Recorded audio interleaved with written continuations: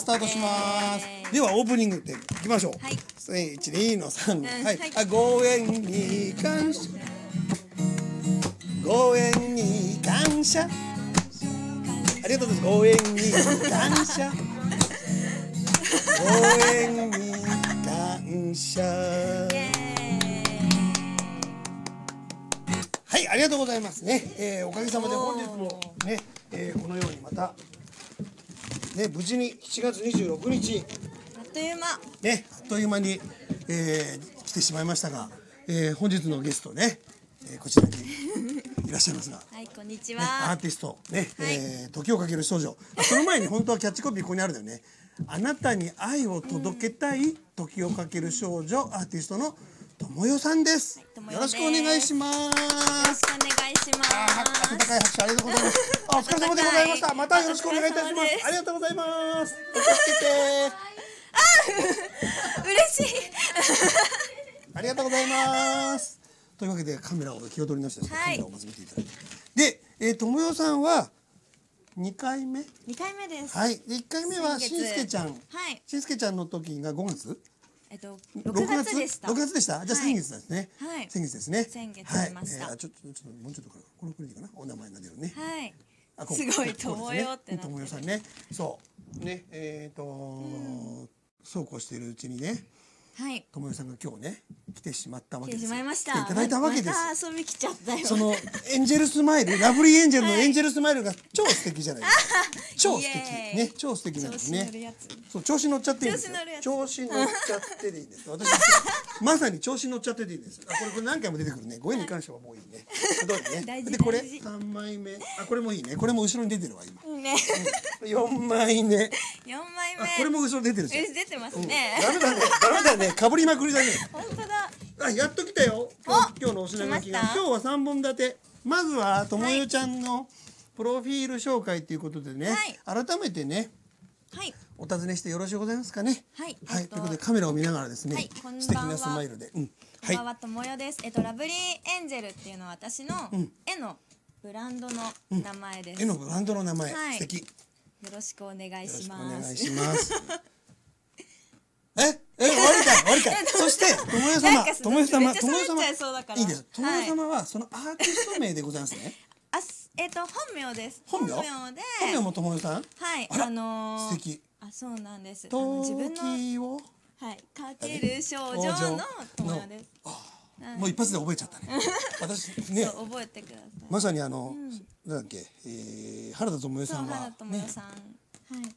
あの、親が原田智代さんが好きで好きでで私の名前にもなったんですけど、ん。あの世界を知るっていう感じじゃないですか。だからまさにそうですね。そうなんです。世界を知る。そうなんです。いいだからすごい自分でも名前を気に入ってて、そのままこの感じで「ともよ」って使いたいなと思ってアーティスト名もともよ。じゃあアーティスト名も本名 いやー素晴らしい、い、いですね、はいアーティスト名キューピーってお前誰だよね、可愛いじゃん。誰だっていう話でですねいつもね。まあそう自分でつけてつけてる。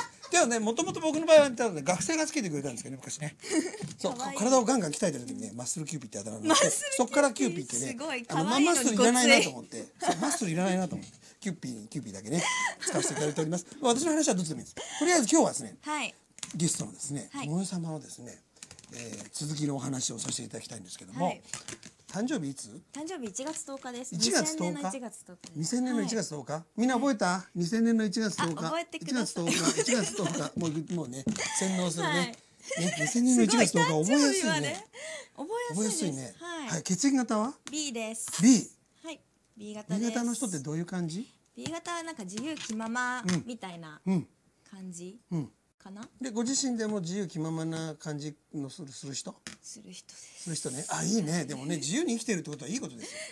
それはとっても素敵なことですよ、作れない。作れない、うん。ってことは思ったことも言っちゃう。言っちゃいますね。あ一応ねこう建前とかはねこう社会人として、はい。はいできるようになりましたけどでも、はい。そうすぐ出ちゃうんですよ。はいはいわかりやすいって言われる。はい、それでもしかしなくてもこれを触るとあの、はい。動いたりする？えこっちこあ来た。あすごい。来たよ。ね大きく出てるもん。ここになくてもちゃんとあのプロデューサー青木さんがね、はい。準備をしてくださったんでもうありがたいですよね、でもう一丁言ってみるか。はい。でこれがね背景の絵で、はいこれロゴです。そう。これだね、はい。ごめんなさい。これこれが今ここのねこれと同じだね、これ別になくてもいいのにこれ下げてもね。そう。ね同じものが出てるからね、はい。そう。でそう。ところでラブリーエンジェルって名前は何でつけたの、っていうのは、私があのなんで絵を描いてるんだろうって考えた時に、はい。こういろんな人に愛を届けたいなって思ったのがきっかけで、私がみんなに愛を届ける天使のような存在になれたらいいなって思って lovely angel っていうふうにつけました。素敵ですね、昔ちょっと流行った歌でね、はい。あのねズーって歌があったんです知ってます？あ知ってます。愛をください、あ wow ZOO 愛をください、ん。ね、それのなんか言ってみればアンサー的な感じですね、あ愛を愛をうん。届けたいっていうね、そう素かもしれない。敵ですね、そしてそのラブリーエンジェルね、はい。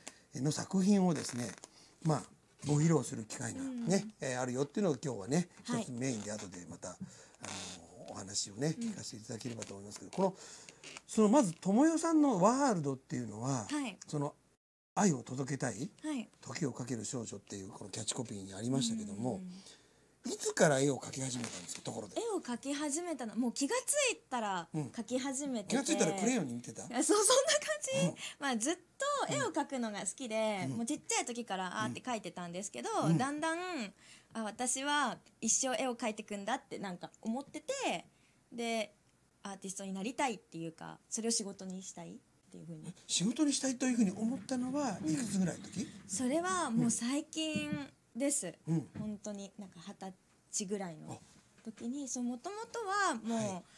なんだこう絵をお金に変えるっていうのに抵抗があって、もうずっと趣味でいいんじゃないかって思ったんですけど、でも多くの人にこう愛を届けたいというか自分の気持ちを伝えるんだったら、自分がこう大きな存在にならないといけないっていうか、って思ってそしたら仕事にする必要があるなと思ってだからなんだろう絵を売るとかっていうけど売るっていう感覚よりもなんか届けるっていう感覚でやってます。なるほどね。絵を届けるね、絵を絵を通じて愛を届ける。あそうです。なるほどね、はい。そしたら、まあ、作品をちょっとずつご紹介というか、見ながらまたお話続きをね、はい。お聞かせいただけるとありがたいです。ね。ちょっと行きますか早速、はい。よいしょ。よいしょ。自己 PR を持ったねおややりながら。はい。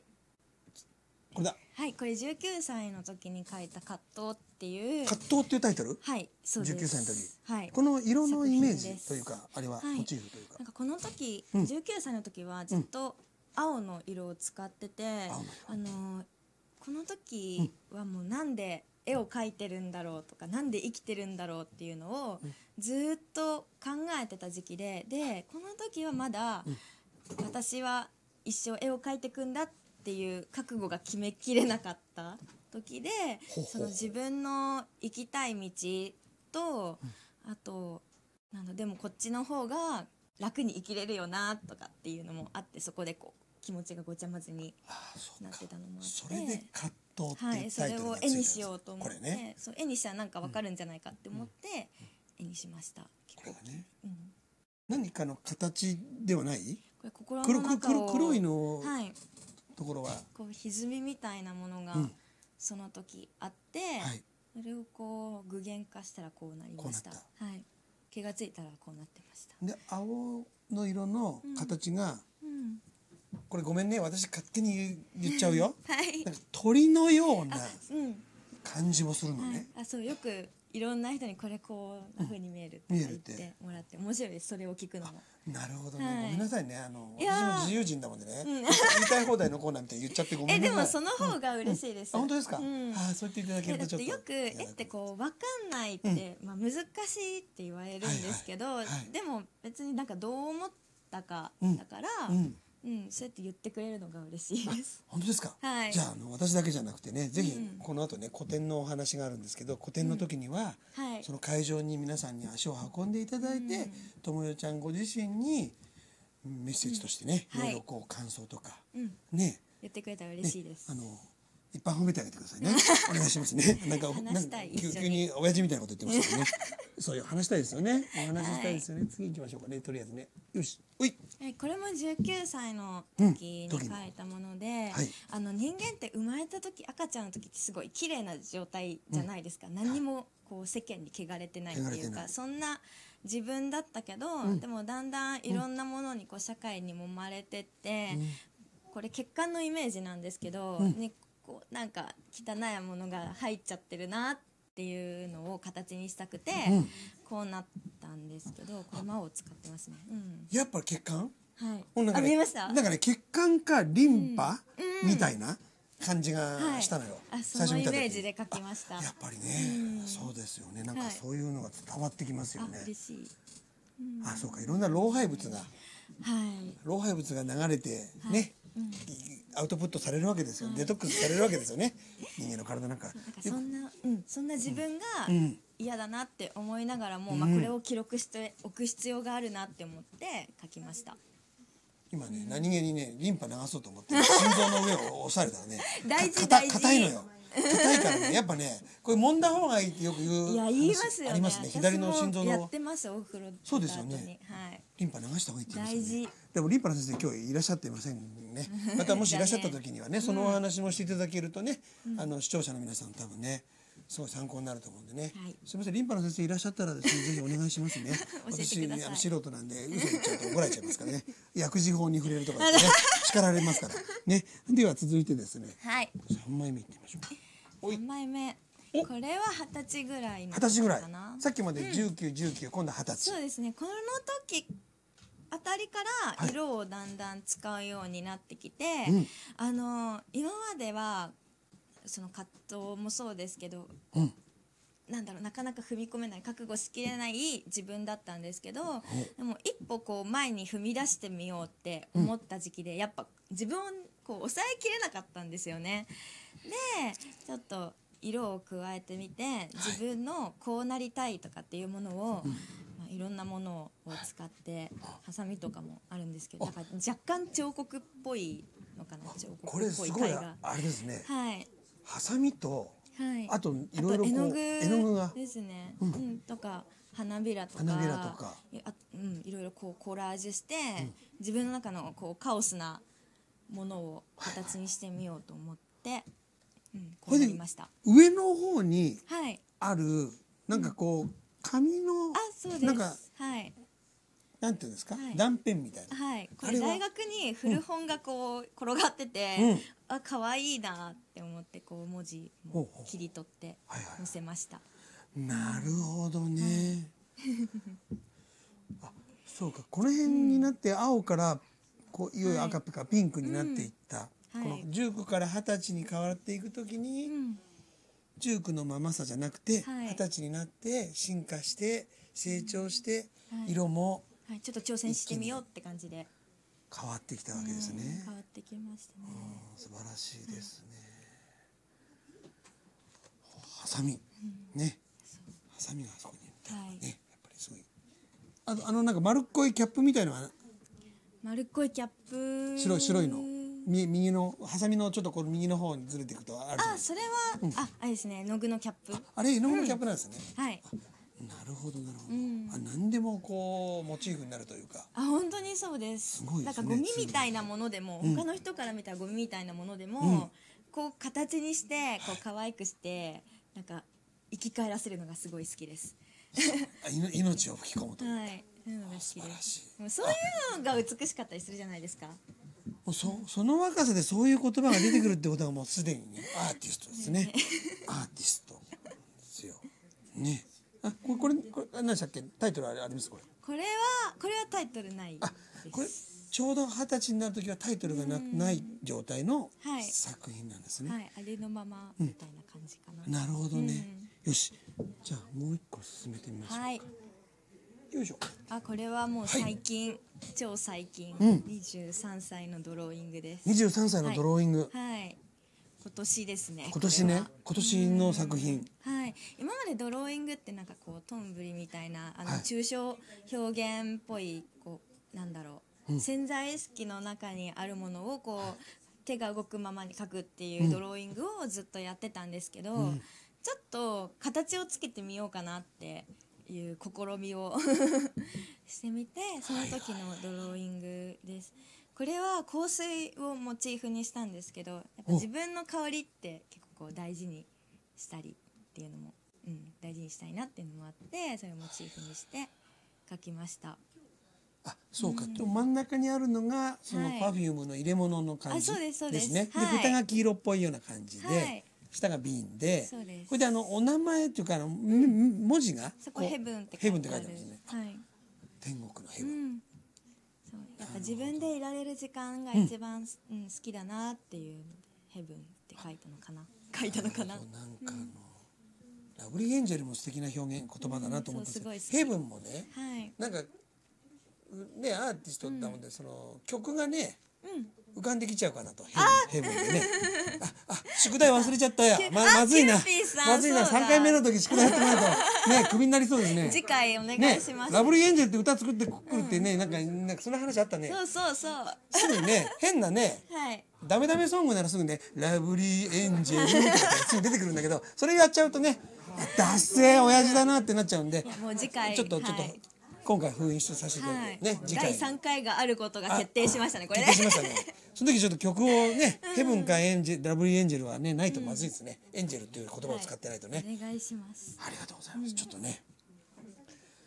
そしたらここれはなのでタイトルがさっきの。あ、これドローイングっていう。ドローイングっていう名前、はい。名前。作品自体が？はい。あ、ほいじゃああの何？古典に行くとそこに、あの友よさんの作品で、タイトルがあるやつはタイトルが付きでタイトルがはい無題ってあそうですいう感じではいなるわけですね。はい、なるわけです。楽しみですね。はい。そして。五つ目の作品はい。よいしょ。はいお、これもはいちょっと、さっきのドローイングから派生してうんできたものなんですけど、なんかイメージがこうバーレスクとかの看板っていうか、はいあの私が今夜の仕事もしているので、はいなんだろう結構夜の仕事って社会の縮図みたいなものっていうかいろんな人たちの関わりがあってそれも楽しかったりするんですけどこう自分のなんだろう自分のこともその、すごい考えさせられるっていうかその中でこうひ何社会に揉まれて、社会の中にいる一人の自分っていうものを表現したんですけどちょっとうまく言えないですねなかなか。え 難しねい、自分も社会の中の一部だよ、うん。ね。っていうことですね。でこれ言葉がさっきのはい。ヘブンのはい。続きみたいな感じがありますよね。はい。でもなんかあのハートマークがいっぱいついててそうなんです。ちょっと可愛い感じ。可愛いですよね。はい。美しくねうん。なんかこう装飾を施してる。はい。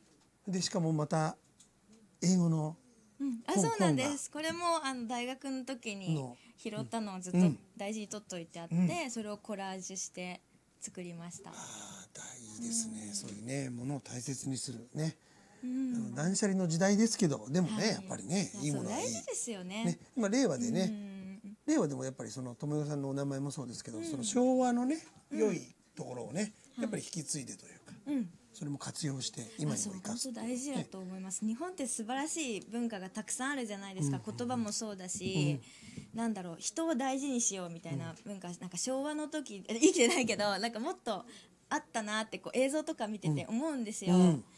だからそういう文化をもっと大事にして、私はなんだろうもう次の世代だと思ってるのでまたさらに私がこう40代とか50代になった時に次の世代に届けられるようなアーティストになりたいなっていうふうに思って結構その昭和も、うん、大事にしてます。好きなので。いいですね。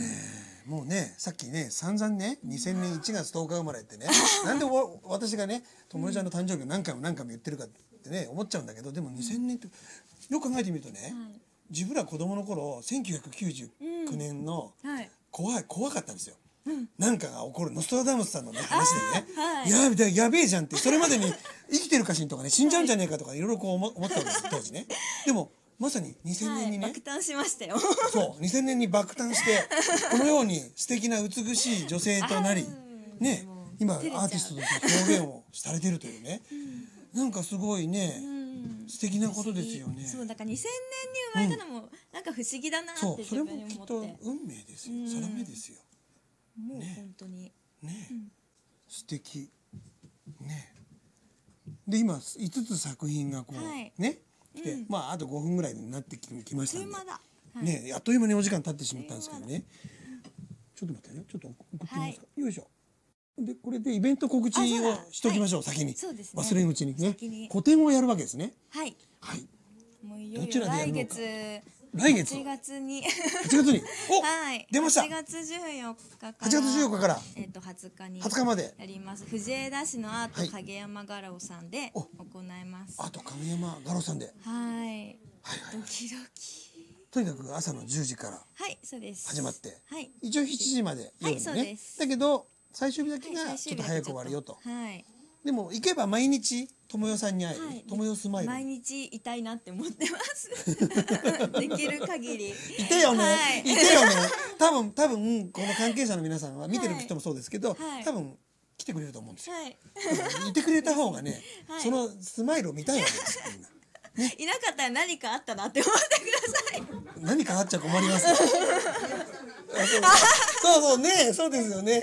大丈夫いますいます。はいいますいます。はい。今今アート影山さん来たんだけどあれともちゃんどこ？どうしよう。どこ？どちら？寝てましたとか言ったらやばいよ。すぐ来てねみたいなね。うん多分なかったらね、家で寝てるんで大丈夫家家って近いの？家ちょっと遠いんですけど。遠いのね。あららららら、はい お願いいたしますね。ぜひね。大丈夫です。8月いますよ。14日からはい。8月20日の間だけははい。必ずアート影山さん、はい、でもみんなと話したいんで、なんかこんなこと言ってたけど多分います、そうだね、はい。約束を守る人だから。はいそうです、ね、約束を守る 守る人だよ。だって今日だってね私より早く、もうねね 来来てくださっていらっしゃって本当ありがたいですよいやね楽しみにしてたんで、もうでもねあのしんすけちゃんがね、あの最第1回の時にね、そうです。あのまず友よさんをね、ここちらに導かれて、はい。そして本日ねしんすけちゃんからのバトンを私キュビが受け取り2回目をねね 無事にこのね不思議なご縁でですね、個展のねあの告知にねお手伝いあさせていただいておりますけど。こちらこそありがたいですよ本当ね。ありがたいですよ。出ていただいてもうそれだけでもありがたいですよ。ありがとうございます本当に、、はい。い加減ね。あしんすけちゃんと一緒に歌作るっていうのもあるかもしれないあそうともよちゃんの絵もかかか多分描いてくれると思うんだけど、しんすけちゃんと一緒に、ね、ラブリーエンジェルとヘブン、ね、はい。ちょっとしんすけちゃんと一緒に研究してね、はい。えーおきたいなと、ね。えーまた無責任なこと言ってるね 口から出まかせ男と言われてますけど。そうなんそうね。そうそうするとそうすると守ってもらわないと。クビですって言われそうですもんね。ね。もう私が乗っ取るんでそしたら。いつでもどうぞみたいな。そうもうだってあ暑苦しいさずら親父よりはさともよちゃんがねパーソナリティの方がそういうあずらって誰も知らない？そういうあ言言っちゃダメ？さっきのねさっきはなんかすごいあのねしんすけちゃんのゲストさんもねなんか他人のような気がしなくてですね、なんかね、30年ぐらいずっと被ってらっしゃるってので、うん。ね、私はまだそういう意味ではまだまだひよっこですけど、ね、全然ね、輝くの素晴らしい。輩。輝くこれを取れば輝きが増すってい光が当たってなんてね。それは置いときまして。もうそうこうしてるうちに3分ぐらいになっちゃった。ね、でちょっと待ってよ。あと影山さんのご紹介、はい。よいしょ。この次。これですね。はい。あと影山さんもう一回ね整理ですけどもね。藤枝市の小石川町っていうんですか？はい。4丁目10のそうです。28ね8月14日から8月20日まで、はい。ね、朝の10時からともよちゃんがこのスマイルで。はいいます、画廊でね。待ってるね、素敵素敵ですよね。もう楽しみですよ本当ね。ちょっとちょっと2週間ちょちょっとか。もうちょっとあるかな、一週間ぐらいです。まあ、やるのはね。あそうです。始まるまでちょっと間があるもんでもう一回ね、一週間ぐらい。もう一回あたすの時あたすの時は次がいつだったっけな？17日ぐらいだから。あ始まっちゃってるね。始まっちゃってるから皆さん行きましたかって言ってあげるくらいでこうできるかな。ねそうですね。そうですね。そうそううん。なのでねとにかくともよさんのね、はい。スマイルとそしてともよさんの作品にん。会え会いに皆さんねお出かけくださいよ、はい。ねアート影山さん藤枝ね、特に藤枝志田地区の方。藤枝焼津島田大井川岡部の皆さんはね近いわけですから、はい。ぜひともお運びいただいてみんなに会いたいです。そうですよね、あカメラに向かってアピールしてください。あビール、え？待ってます。あもうそれだけでじゃあ行っちゃうよ行っちゃうね。え見てるおじさんみんな行きますね。おじさんだけじゃダメだよ。ね。そういろんなね人に会いたい。そうですよ。いろんな人に会いたいって本人がおっしゃってる。ねぜひともね来ていただければと思います。でまあねあと2分ぐらいになりましたがね最後、もし友よさんの方で言い忘れてしまったこともしくはこれだけは伝えたいよってことをですねもしございましたらですね、伝えたいこと？伝えたいことをはい。伝えたいことがあるんだってねまた歌になっちゃう。本当だ。えー、なんだろう伝えたいこと、うん。でもそれははい。うん。多分絵を見て絵を見てほしいなって絵を見いうこてほしいとうんかな、うん。ですかね。うん。絵を見ると友よさんのお人柄も全部、うん。そこから感じ取ることができるとですよね。でもそうなんか、うん。なんだろうもう、さっきはその買ってくれるとかあったけど、あの仲間だと私は思いたいっていうか思ってるので、なんかその人のい。人生も大切にしたいし、その人の周りも幸せにできたら、そしたらみんな幸せじゃないですか。そうですね。ウィンウィンの関係ですねそうそうしたいなって思ってるので、そうですね。はい。そう。友よワールドを中心にねどんどんその輪を広げていってですね、はいそしてさっきね、うんなんか、まあ、ちょっとニュアンス違うかもしれませんけどねやっぱり昭和のいいいいところもね、うん、大好き。大好きだとおっしゃったんでね、そうなんですねはい。その辺もね、うん。ぜひ作品にもね生かしていただいてということで、えーエンディングのねナンバーという方あれが流れ流れてきましたので。次のね、えーデブマギチャンプルーの、えー、ムツキとフルムーンでいいですか？ムツキとフルムーンさん。ね。その後で出てくださいますので楽しみに。ぜひねお待ちになっていただければと。思います。はい。ということでまた来週ね。あ来週じゃねえや。来週再来週その次の週。2週間お休みいただきますのでそのの次の週。ね、いやいやいや私の番組はいつでも嬉しいですけどね。ということでまたお会いしましょう。ありがとうございました。ね今日はねえーアーティストの友よさんね時をかける少女。届ありがとうございました。ありがとうございます。ありがとうございます。ありがとうございます。ありがとうございます。